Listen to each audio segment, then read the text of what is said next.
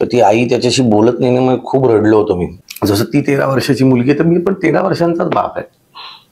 नागराज फार मस्त गोष्ट म्हणतो की मुलांच्या प्रगतीच्या आड येणारी सगळ्यात मोठी गोष्ट म्हणजे अति जागरूक पालक माझी आई माझी आई पण आहे माझा बाप पण आहे.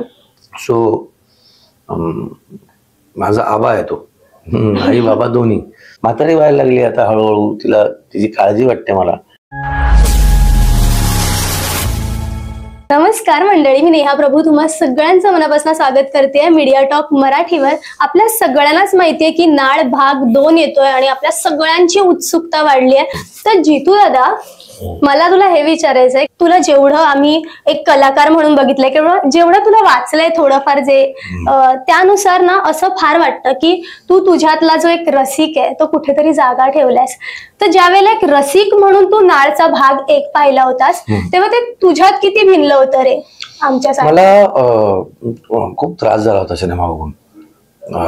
एस्पेशली शेवटाकडे जेव्हा सिनेमा येतो तर ती आई त्याच्याशी बोलत नाही ना मग खूप रडलो होतो मी. दोनदा पाहिला होता मी थिएटरला जाऊन.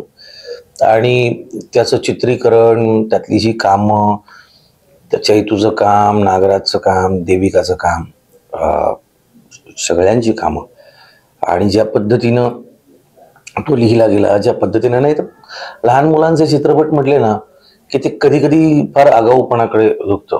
बरं का? मला किल्ला खूप आवडला होता. त्याच्यानंतर मला हा चित्रपट नाळ प्रचंड आवडला होता. आणि मग जेव्हा नागराजनी मला विचारलं या चित्रपटाचे भाग दोन साठी मी आनंदाने तयार झालो. एक तर नागराज हे कारण आहे कारण आमची मैत्री इतक्या वर्षांची. आणि आम्ही मैत्री कधी कामाच्या आड किंवा काम मैत्रीच्या आड कधी येऊ दिलं नव्हतं. यावेळेला तो म्हणा नाळामध्ये असा असा रोल आहे. मुख्य भूमिका मुलांचीच आहे. आपण सगळे सहकलाकार म्हणून त्यांचे सपोर्टिव्ह म्हणून आहोत. पण म्हणलं आनंदाने मी येईन. आणि मला सुधाकर रेड्डी यांच्याबरोबर काम करताना खूप मजा आली. खूप मस्त माणूस आहे. खूप अप्रतिम टेक्निशियन अप्रतिम दिग्दर्शक. खूप मजा आली. आणि एस्पेशली ही जी तीन मुलं आहेत. खूप मजा आली.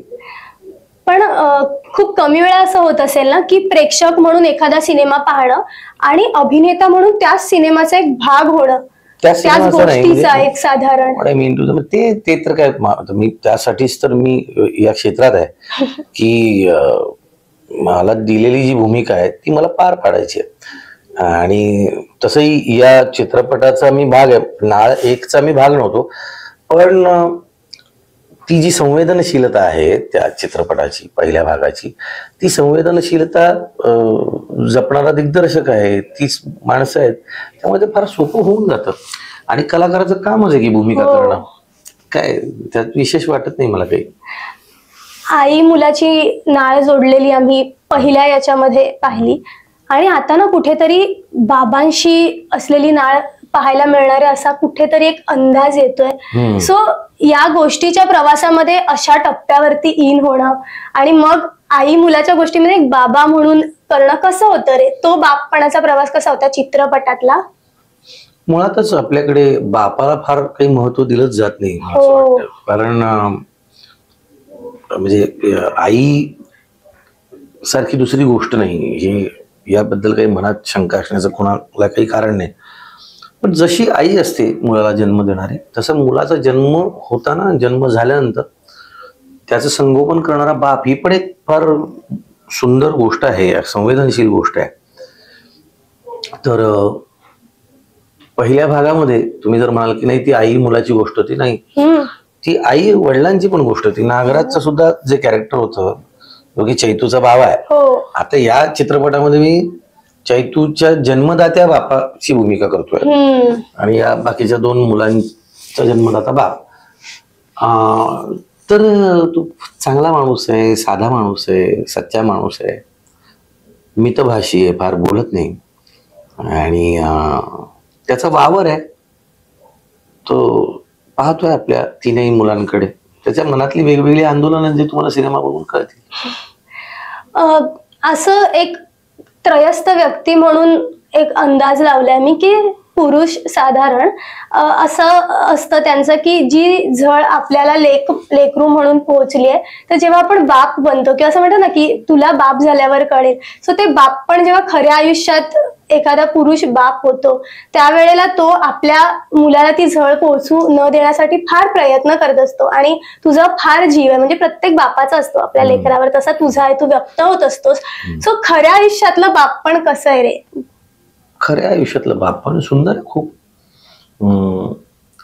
प्रत्येकाचं वेगवेगळं असतं. माझं. इतकंच आहे की मी माझ्या मुलीला हे कर ते कर असं सतत सांगत नाही. कारण मला असं वाटतं मुलांना त्यांचं त्यांचं डोकं असतं ते त्यांचे त्यांचे वाढत असतात. हा त्यांनी तुम्हाला विचारला सल्ला तर तुम्ही त्यांना सल्ला जो तुम्हाला योग्य वाटतो तो दिलाच पाहिजे. पण तरी सुद्धा मी तिला म्हणतो की मी जे सांगतोय तुला ते जगातलं अंति- अंतिम सत्य नाहीये.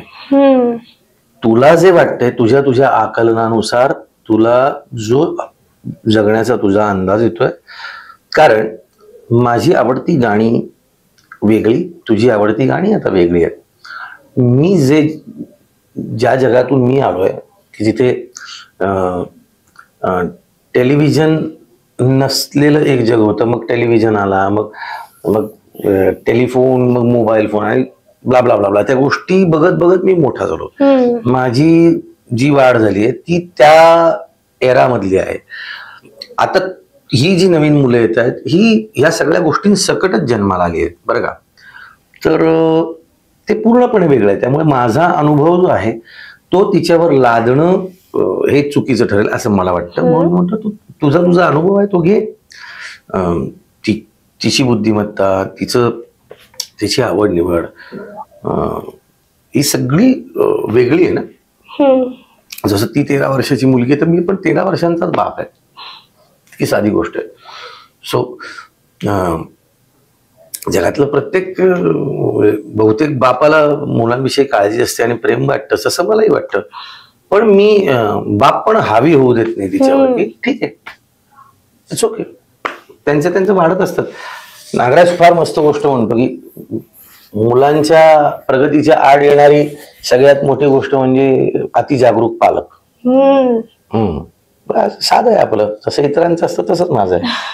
किती छान बोललास रे तू की ती तेरा वर्षाची आहे मुलगी म्हणून आणि तू बाप आहेस तेरा वर्षाचा.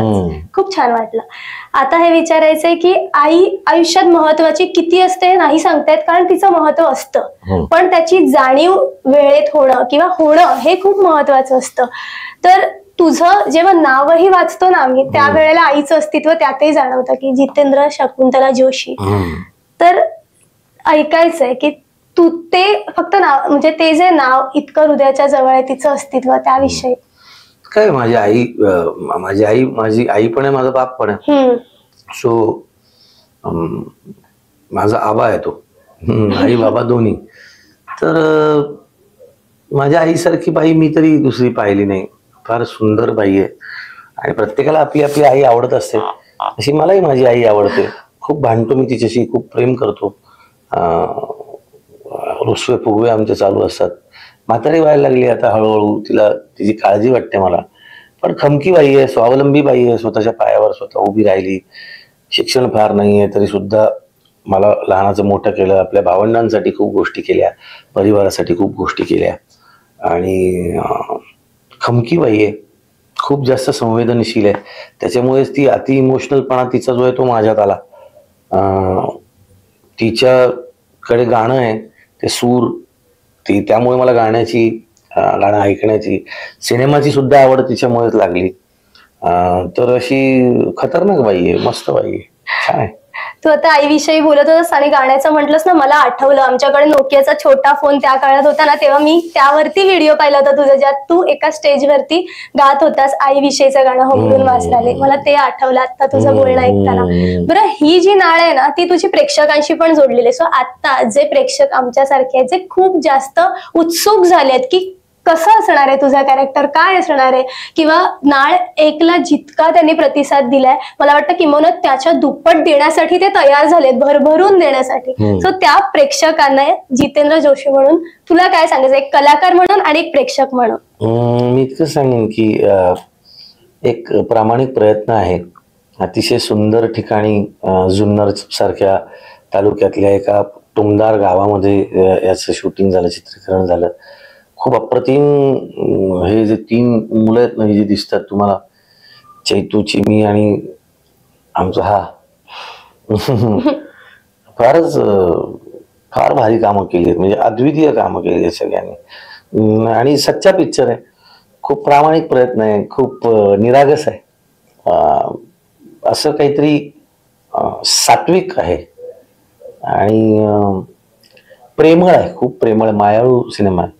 तुम्हाला आवडेल मला खात्री. आहे खूप छान वाटलं तुझ्याशी बोलून. जो सात्विक भाव चित्रपटात आहे ना तो आपल्या गप्पांमध्ये कुठेतरी वाईब्समध्ये मला कुठेतरी जाणवला एक खूप छान वाटलं. Thank you so much. आणि प्रेक्षक म्हणून तुला खूप साऱ्या शुभेच्छा आमच्या. Thank you thank you